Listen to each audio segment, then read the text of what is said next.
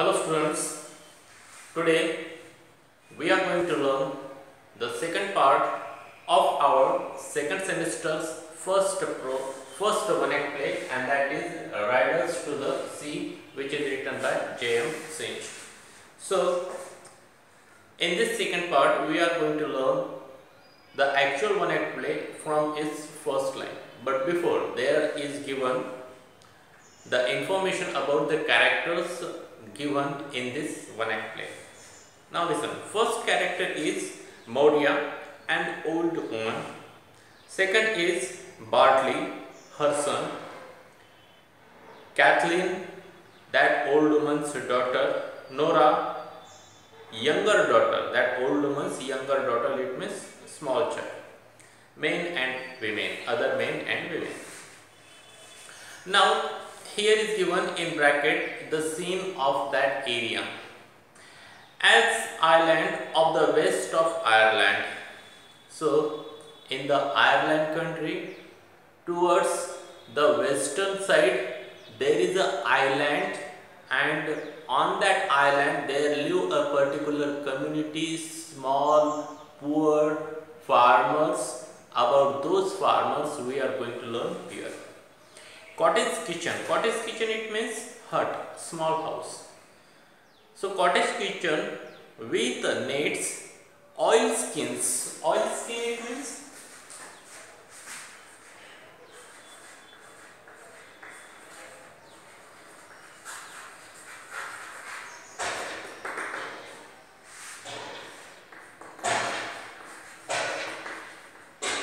cloth created with oil. Spinning wheel, some new board standing by the wall. so this is the picture of that small cottage given there. There is a small cottage, hut, small house. In that small house there is a place and that is called uh, kitchen and there is that kitchen is made with a net and oil skins. Oil skins it means the cloth treated with oil. That cloth is having some oil. Spinning wheel. There is the spinning wheel. Some new boards standing by the wall and on the wall there were few new boards etc. Kathleen, a girl of about 20, finished kneading cake. Kneading. Kneading it means Knead it means K N E A D. Knead it means to press P R E double S. The floor F L O U R with hands.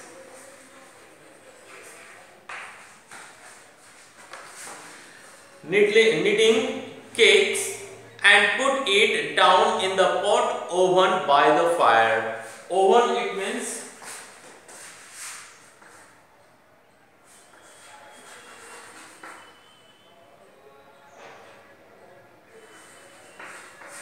enclosed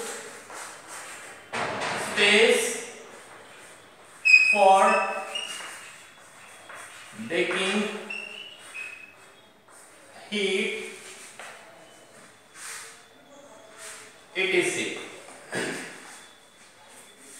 by the fire. So the that girl kathleen she was a young girl she was about 20 years old finished her kneading cake. It means she was pressing with hands the flour and she wanted to make that a cake. And after that put down that into the pot oven by the fire. When wipes her hands wipe it means wash. Then wipes her hand and began to spin at the wheel. After making that cake, she put that on the pot oven by the fire, then washed her hand and again started to spin that wheel. Nora, a young girl, puts her head in at the door and suddenly there came a young girl called Nora and she just started to look into that small house, that cottage by only entering her head. Then, first dialogue of Nora. In a low voice, where is she? In a low voice, she was asking to Kathleen that where is she? But who is she? That we will learn ahead. Kathleen, she is lying down and Kathleen told Nora that she is lying down. It means she is trying to rest there. She is trying to sleep there. God help her and may be sleeping if she is able. And after that, Kathleen said to Nora that if God helped her, she will be able to sleep there. Nora comes in softly and takes a bundle from under her shawl. Shawl it means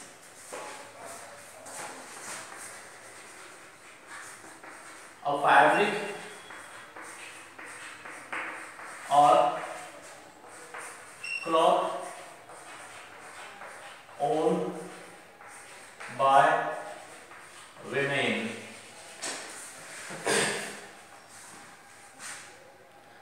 Then Nora came softly and take a bundle from under her shawl, that lady's shawl, Kathleen, spinning the wheel rapidly. And after watching this activity, Kathleen started to spin the wheel uh, rapidly with the speed. What is it you have? And after that she asked Nora that what is this? What are you having? What are you taking from there? Nora. The young priest, priest it means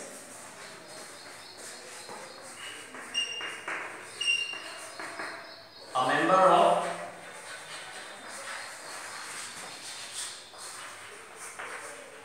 Catholic Church. A young priest is after bringing them its shirt, it's a shirt and a plain stocking. Stocking it means socks. Were got off and drowned a man in Donegal.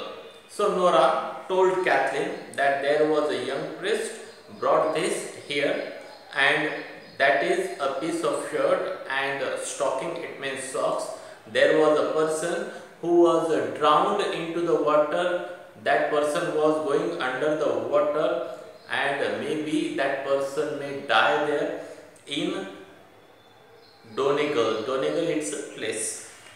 Kathleen stopped her wheel with a sudden movement and after hearing this Kathleen suddenly stopped her moving spin, uh, spinning wheel and leaned out to listen. Lean means to bend so she bent and started to look out of that cottage. Nora, we were to find out if it's Mitchell's they are.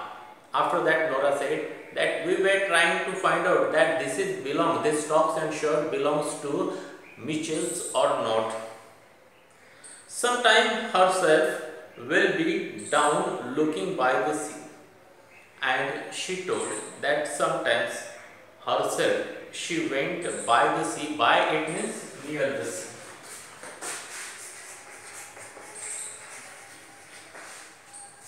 By it means near, near the sea to find this kind of cloth or things.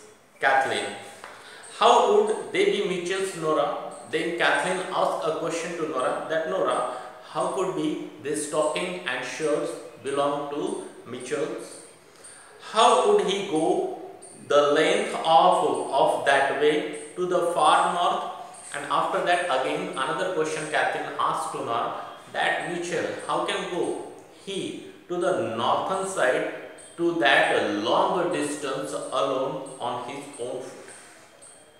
Nora, after that Nora gave answer. The young priest says he is known the like of it. Then Nora gave answer that the young priest knows who is supposed to having these stocks and shirts. If it uh, Mitchells, they are, says he, you can tell herself he got a clean burial by the glance. Burial it means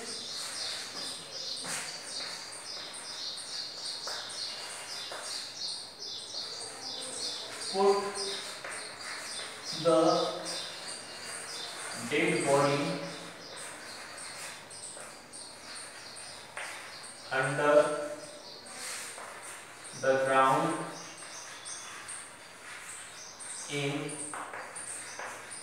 grave. By the grace of God, by the grace of God, it means blessing of God. So the priest said that this is belong to Mitchell. So Mitchell will have a beautiful, clean, decent burial. It means the finally when the person dies, that person was his body put under the ground with a grave. That grave dug by people and after death the person was buried under the ground. That kind of final ceremony of the dead body is called burial. And by the grace of God, it means with the blessing of God, we will bury that Mitchell's body under the ground. And if they are not his, let no one say a word about it. And these stocks, socks, shirt not belong to Mitchell, then don't tell a single word to anybody or don't discuss with anyone about this matter. For she will be getting her death, says he, with crying and lamenting. Lamenting means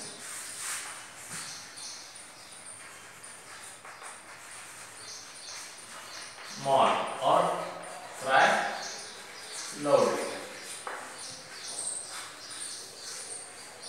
And if they were not his, let no one say a word about it, for she will be getting her death. If that old lady knows that these are belonging to Mitchell's, so that lady will also die with his uh, new kind of information if you give to her. And says he with crying and lamenting.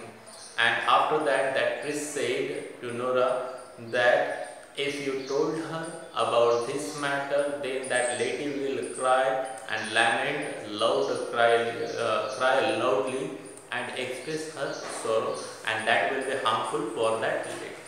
So in this way this second part ends here. We are going to stop here. Have a good day to all of you.